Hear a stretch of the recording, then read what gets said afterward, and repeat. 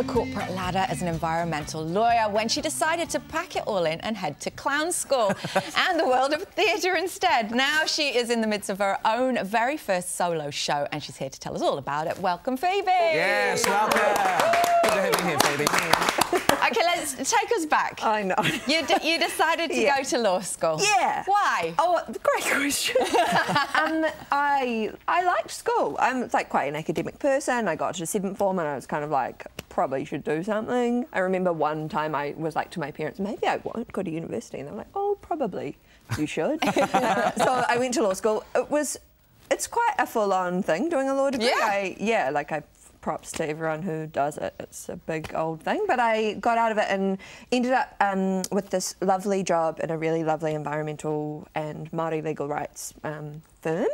And actually really enjoyed it. I was kind of like, well, this is something I could see myself doing. Like, had a cool life thing going on.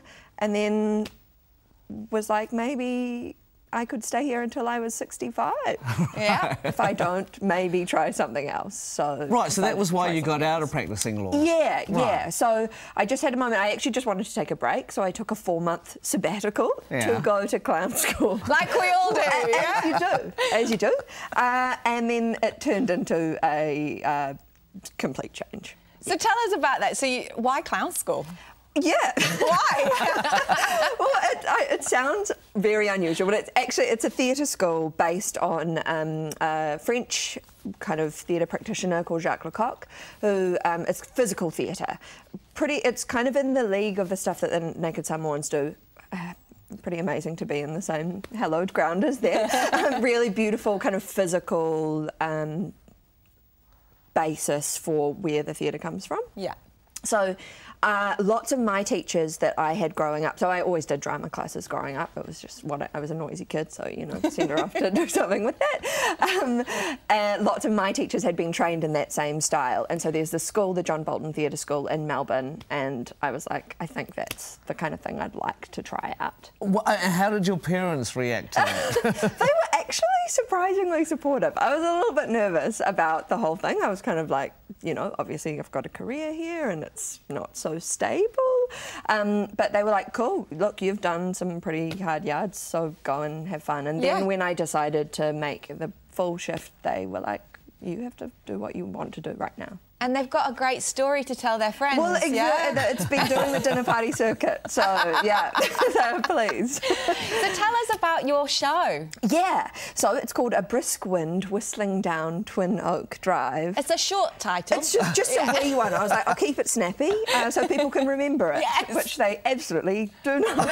um, it's on at the Basement Theatre in town, just in the in a, a little studio space, and it's definitely not a clown show, um, but it's a kind of magical storytelling experience. It's just me, a solo, um, about kind of like the world and then what is in the world if you take some time to look for it. Oh, sounds deep. Yeah, yeah, there's some fun in it. so uh, you got out of law to do performing, or was the clown turning or the clown doctor part of, you know, a, a sort of a broader view of what you wanted it to do? It kind of came later. Right. So I've always done a bit of acting. That was what I enjoyed, which is why I went to clown school. Then I came out of it and kind of was like, oh, I don't have a job anymore. I need to find some work."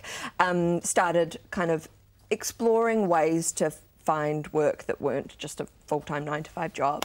Um, and some people told me about clown doctors. Um, so I'm based in Melbourne at the moment, but there's a clown doctor program in New Zealand as And well. the and the clown doctors, Yeah. you have to be a clown turn first, Yes, don't you? So, which is what I am at the moment. So I'm brand new. Right. I'm a clown turn, not a clown doctor, and for and so there's a long training process because it's quite an intensive, rigorous job, and they and they want to make sure that everyone's taken care of, all the patients and the families and the people in the hospital and, and the performers.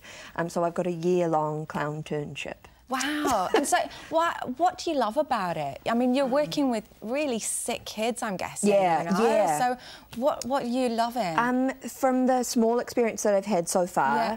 um, it's been exceptional. You can find the person inside anyone, even if they're, you know, no matter how sick they are or how hard, how hard a time they're having, because it's their families as well.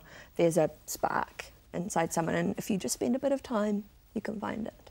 Oh, oh Because I keep thinking of Robin Williams, that movie Robin Yeah. Williams, you know, I guess Yeah. there's a little bit of that. Okay, and one other thing, Cirque du Soleil.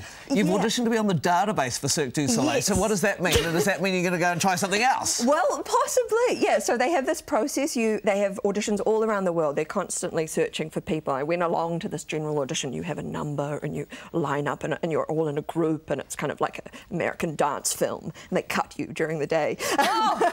but I got through to the database, so I'm on their database as a clown. And so if one day they are looking for a oh. curly-headed you know, my Clown height doctor. clown, Yes. doctor, lawyer person, then I might get a call. well, you come back when you're on that show, right? And tell us about that as well. Thank you so much, Phoebe. Thanks for having me. Good luck with the clown Yeah. turning, clown turnship. Phoebe solo show, a brisk wind whistling down Twin Oak Drive. That short show. Well, you name. remembered it well, yes. plays in Auckland until Saturday night. Check out the Basement Theatre website for ticket details.